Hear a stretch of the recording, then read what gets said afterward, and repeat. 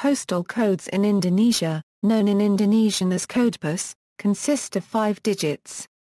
The first digit indicates the region in which a given post office falls in, the second and third digits indicate the regency or city, the fourth digit indicates the subdistrict or kecamatan within the kabupaten or kota, the fifth digit indicates the commune or village or kelurahan desa.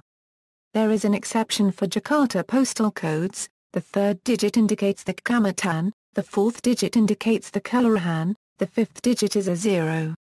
There are postal code zones covering the Indonesian provinces or islands as follows.